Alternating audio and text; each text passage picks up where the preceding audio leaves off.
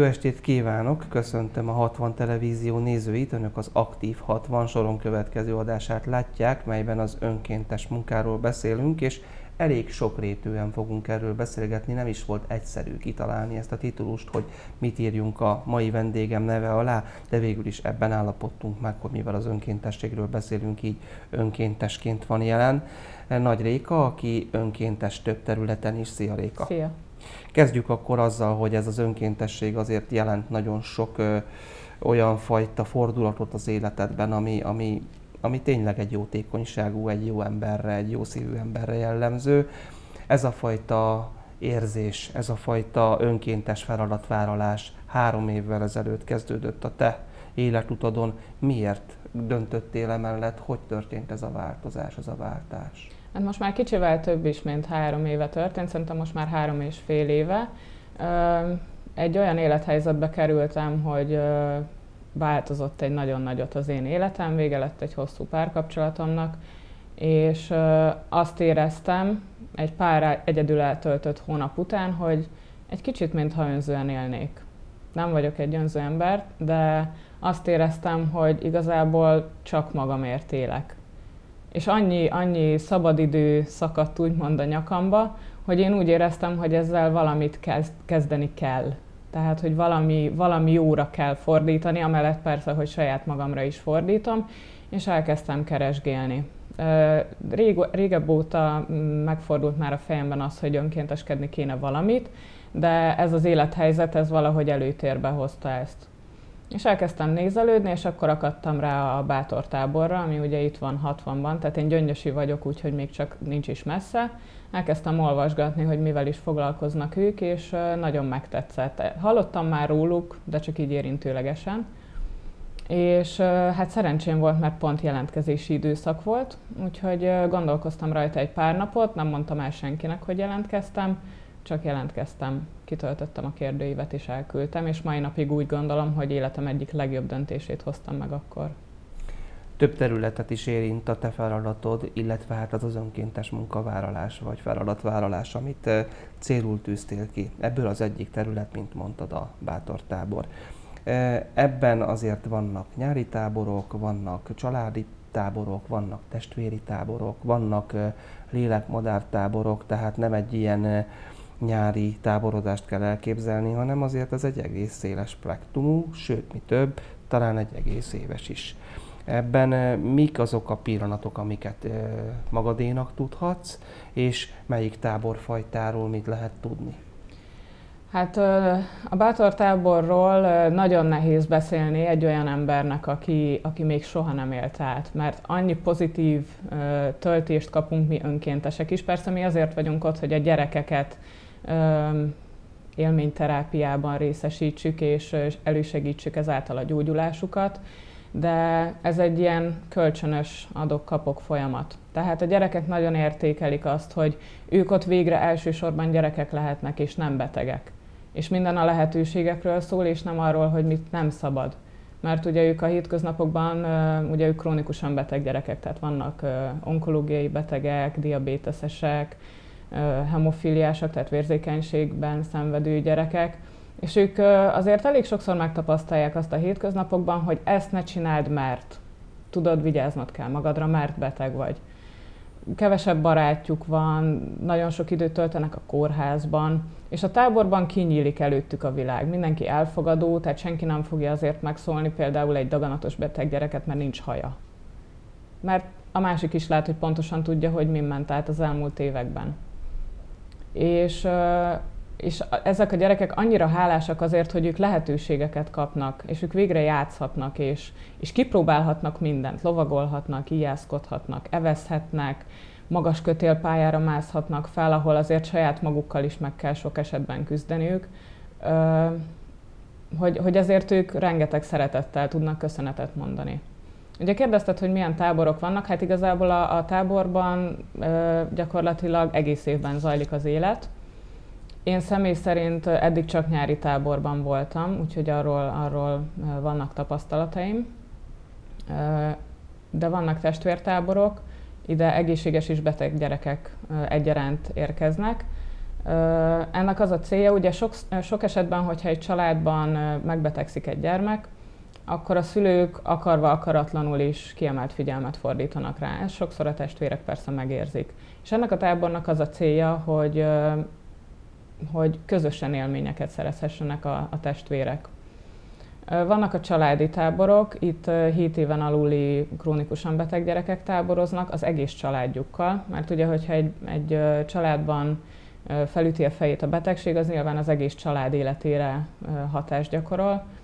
És uh, itt tényleg a szülők is egy kicsit elengedhetik magukat, olyan emberekkel találkoznak, olyan szülőkkel találkoznak, akik pontosan tudják, hogy ők mit élnek át, illetve hát ők is kikapcsolódnak és rengeteget nevetnek. És ezek mellett van a lélekmadártábor, ahol, ahol olyan családokat várnak, akik krónikus betegség miatt vesztették el valamelyik gyermeküket. Ez egy ilyen gyászterápiás tábor tulajdonképpen, és itt nagyon sok segítséget kapnak a szülők egyrészt a feldolgozásban, másrészt tehát megtanulhatják, hogy történt egy ilyen helyzet az életükben, de például attól nem bűn nevetni. Nem bűn az, ha jól érzi magát. Itt nagyon sok lélektani dolgot érintettél, szinte azt kell mondanom, hogy csak azt. Igen. Mi volt a késztetés annak idején, amikor emellett törted el a pálcát, hiszen azért ehhez nagyon erős, stabil mentális egészség kell, és hát nyilván itt aztán lehet jót tenni bőven. Nagyon érdekes egyébként, mert tehát nekem azt keltette fel az érdeklődésemet annak idején a bátortáborral kapcsolatban, hogy tudtam, hogy nagyon sok szoros túljelentkezés van, és nagyon sok ember szeretné itt önkénteskedni. És elkezdett érdekelni, hogy, hogy vajon mitől ilyen népszerű ez a tábor. Nyilván utána én is megtapasztaltam, hogy mitől szeretnének ennyien itt önkénteskedni. Úgyhogy, és a másik oldalról nagyon sokan féltettek engem. Tehát amikor megtudták, hogy én megyek ebbe a táborba, nekem egyből az első turnusom az onkológiai turnus volt. És nagyon sokan féltek attól, hogy én ezt hogy fogom lelkileg bírni. Hogy nem, nem, nem fogok-e árt, ártani és magamnak. Hogy bírtad? Ezt kérdeztem én is. Ö, ez a mentális hát, állóképesség. Igen, ez, igen, igen. Hát, mégis sok pluszt ad értelmet az életnek, hogy másképp látja az Igazából át, egyrészt átértékeli az ember az életét, másrészt ezek a táborok annyira pörgősek, hogy az embernek nincs ideje gondolkodni.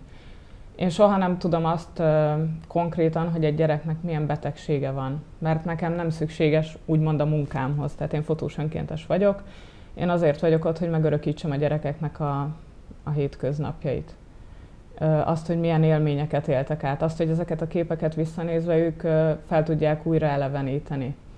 Tehát nekem nem kell tudnom, elég, ha az orvosi stáb tudja, hogy a gyereknek pontosan mi a, mi, mi a diagnózisa. Nyilván, ha egy gyereknek nincs haja, akkor tudom, hogy valószínű onkológiai betegről van szó, de ennél pontosabbat nem tudok, és nem is kell tudnom.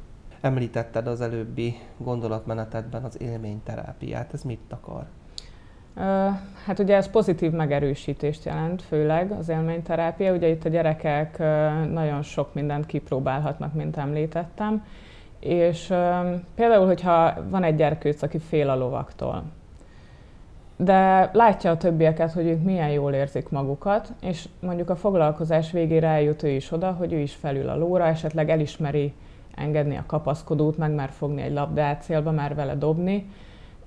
Ezt mi visszajelezzük neki. Mert sokszor nem is biztos, hogy a gyerekek tisztában vannak azzal, hogy ők mit érnek el. És azáltal, hogyha mi rávilágítunk nekik mindig a pozitív dolgokra, és igyekszünk pozitív megerősítéseket adni, akkor önbizalmat kapnak. Tehát igyekszünk önbizalmat növelni ezekben a táborokban. És egyébként azért is nagyon jó, mert nem csak a gyerekek felé megy ez a pozitív visszacsatolás, hanem mi egymást önkéntesek is folyamatosan ilyen módon töltjük. Úgyhogy én azt szoktam mondani, hogyha, hogyha a világ is így működne, mint a bátortábor, akkor, akkor nem lenne semmi gond.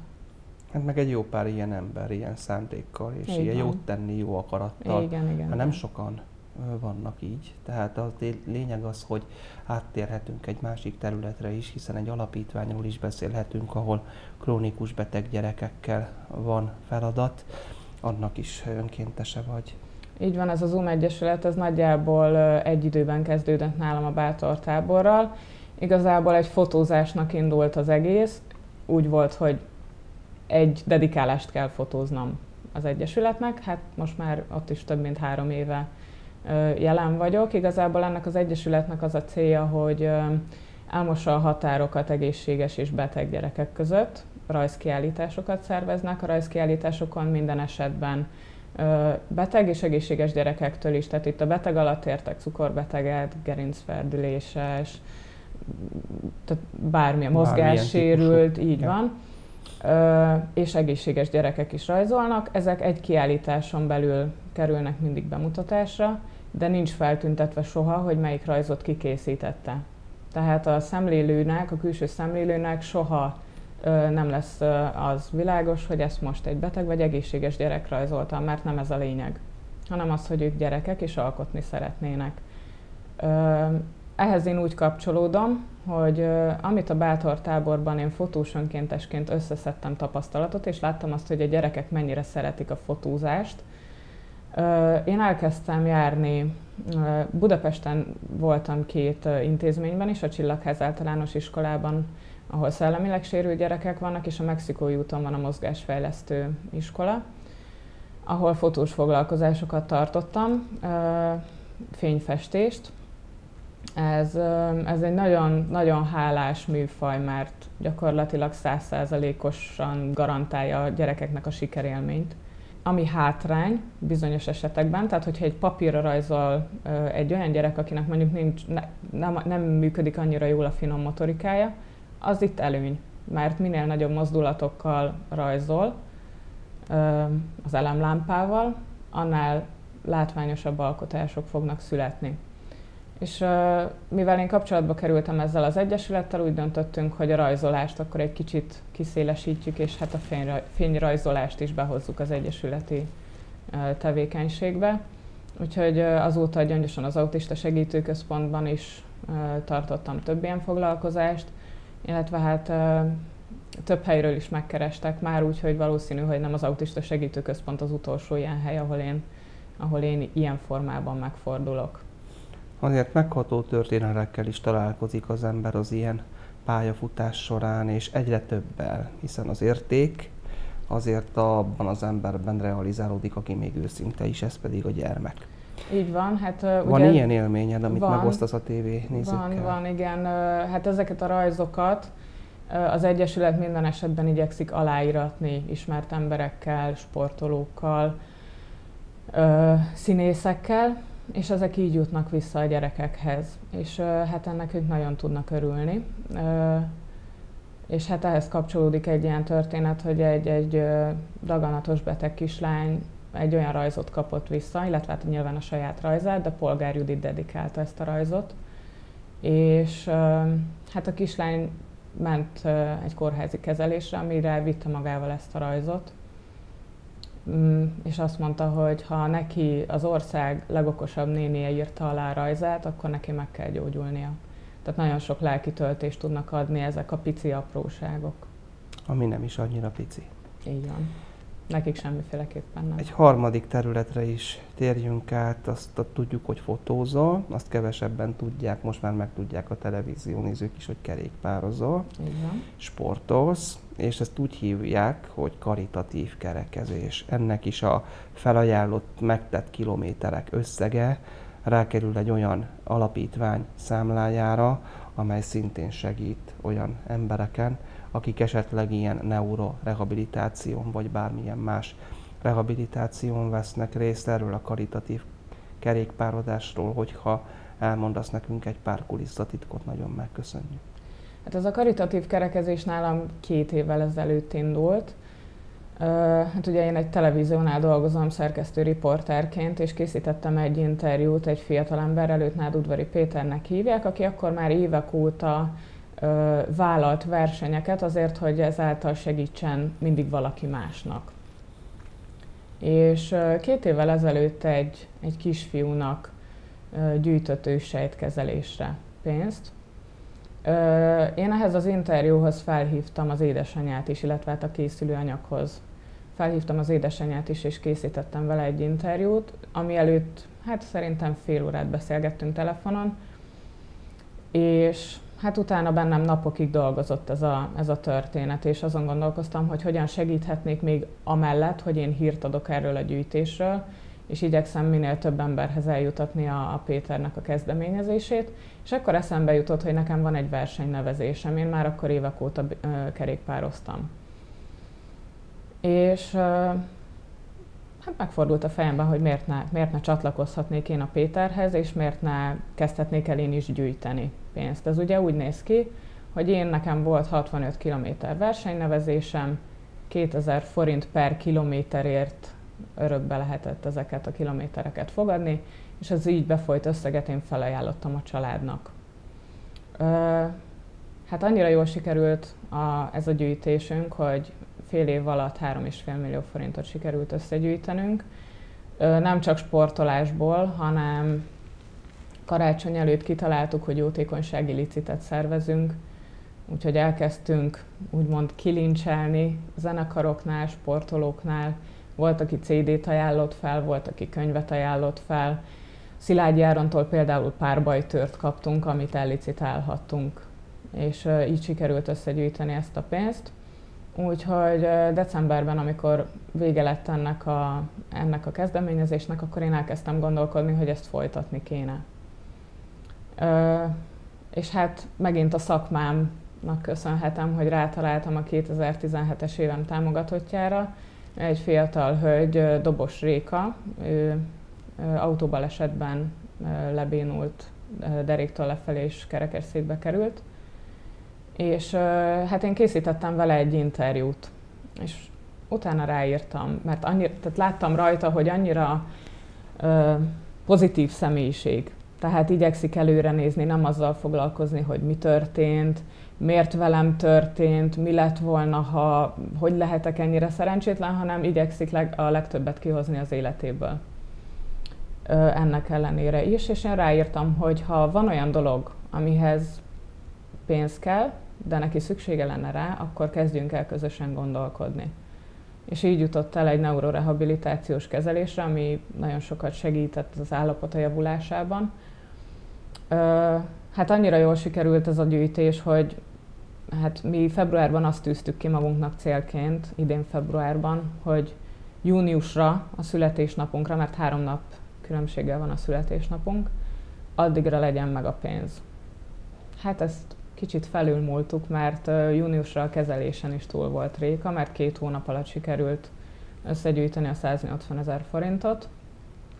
Sőt, már azon kellett elkezdenünk gondolkodni, hogy a plusz befolyó összegből mire költsünk de hát ez egy elég pénznyelő állapot, úgyhogy nyilván erre a pénzre is szükség volt, úgyhogy összesen idén 300, forint, 300 ezer forintot sikerült neki összegyűjteni, a maradék összegből egy speciális ülőpárnát sikerült beszerezni, amiből ami abban segít neki, hogy ugye az üléssel töltött napok valamivel könnyedebben teljenek, és ne legyenek felfekvései. Ezt csodálattal és elmulattal hallgatjuk ezeket a cselekedeteket, amelyeket mondjuk te önállóan egy magad is végrehajtasz, egy elhatározásból született. Én azt, azt szoktam mondani, bocsánat, igen. hogy csak megyek a szívem után. És azt szokták mondani, hogy ugye a kapott jó az visszatér az életedben érzed ennek az áldását? Mert azért ezt úgy gondolom, hogy mentálisan egyrészt fel kell dolgozni. Ez is egy információ, ami ugyanaz, mint amit így naponta iránk zúdul, olvasva, vagy hírekben, vagy bárhol. Itt pedig a léleknek ad egy olyan töltést, amitől az embernek így az aurája, vagy a karizmája meg is tud változni. Neked mit ad az életedben? Most így három év után már azért elég sok tapasztalás lehet. Hát nagyon sok jó emberrel ismerkedtem meg, ezt azért mindenféleképpen kiemelném. Tehát amikor én elkezdtem például a karitatív kerekezést, akkor többen mondták, hogy fú, hát azért nem lesz könnyű dolgod. Mert az emberek persze a közösségi oldalon oda egy lájkot az ilyen kezdeményezésekhez, de hogy utalni is fognak-e, hát arra azért majd kíváncsiak leszünk. Tehát én mondjuk ezeket a hozzászólásokat igyekeztem minél gyorsabban leépíteni, mert mondtam, hogy ilyenekre nincs szükségem. És azért szerencsére az élet engem igazolt, hogy szeretnek az emberek segíteni, csak nem tudják, hogy hol lehet. Illetve igyekeznek olyan helyen segíteni, ahol biztosra tudják, hogy jó irányba, hogy megy. jó irányba megy, és tényleg oda kerül. És én úgy gondolom, hogy tehát nagyon sok ismerőst, vagy ismerősön keresztül embereket mozgattam meg, hogyha ismerősön keresztül történik az ilyen jellegű segítség, akkor talán az ember érez egyfajta garanciát. Úgyhogy én egy, tehát emellett, hogy nagyon sok jó embert ismertem meg, azért én is nagyon sok lelki töltést kapok ettől, ettől a dologtól, illetve hát azért átértékeltem nagyon sok mindent az életemben. Tehát mm, amiről korábban lehet, hogy úgy gondoltam, hogy probléma, azt már ma elengedem egész egyszerűen, mert tudom, hogy nem az. Az önkéntességről beszélgettünk egész műsor alatt, és három területet is érintettünk. Az Autista Segítőközpontot, érintettük a Zoom Egyesületet, és érintettük a Bátor tábort. Önkéntesek toborzása. Ezt a témát viszont még nem érintettük. Ez hogy zajlik? Így van, hát a Bátor tábornak most zajlik éppen az önkéntes toborzása. Ezt az interneten keresztül lehet megtenni egy kis időt azért jó, hogyha rászán az ember. Érthető, hogy hogy a bátortábor azért igyekszik megválogatni az önkénteseket, akikkel dolgozik, ugyanis ezeknek a gyerekeknek mindenféleképpen adniuk kell tudni az önkénteseknek. Tehát én azt mondom, hogy aki felkeresi a bátortábornak a, a weblapját, és úgy dönt, hogy jelentkezik egy nyári turnusba, az mindenféleképpen szálljon rá időt, de én azt mondom, hogy megéri mert tehát elképzelhetetlen dolgok történnek ott, főleg lelkileg. Úgyhogy februárig tart ez a jelentkezési időszak, február közepéig, már most lehet jelentkezni egyébként. És hát mindig el szoktuk mondani, hogy fotós önkéntesből például soha nincs elég, vagy lovasból, evezősből, de gyakorlatilag mm, bármilyen területre várják az önkéntesek jelentkezését, úgyhogy minden információ megtalálható a bátortábor.hu weblapon ezzel kapcsolatban, és én mindenkit csak biztatni tudok rá, hogy, hogy keresse fel, és hogyha egy tíz napot erre tud áldozni az életéből, akkor, akkor tegye meg, mert nem fog csalódni. A személyes példád erre a garancia. Így van. Meg az az emberség, amit én magam is ismerek a hétköznapokból, és hát nagyon köszönöm, hogy megosztottad a televízió nézőkkel is ezt az igazán aktív életformát, és hogy jót tenni jó. Kívánunk ehhez az önkéntes lelkülethez, élethez nagyon sok örömet, és kívánjuk azt, hogy kap adott jót érüljön is meg, és kap is vissza. Köszönöm szépen! Kedves nézőinknek pedig köszönöm a megtisztelő figyelmét. Új adással legközelebb egy hét múlva jelentkezünk ugyanebben az időpontban. Viszontlátásra!